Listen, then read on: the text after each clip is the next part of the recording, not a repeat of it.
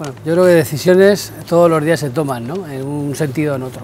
Las decisiones más difíciles quizás son las que afecten a las personas, ¿no? Porque bueno, pues las personas al final son las que, no sé, mueven las compañías y evidentemente las que afectan a ellos son las más complicadas. Pero como denominador común, pues eh, yo creo que lo, lo, importante es, bueno, pues de alguna manera el análisis, que veas un poco de ese entorno, de ese contexto, que tengas no una visión de una toma de decisión en el corto, sino un poco que sea con visión más a medio largo plazo.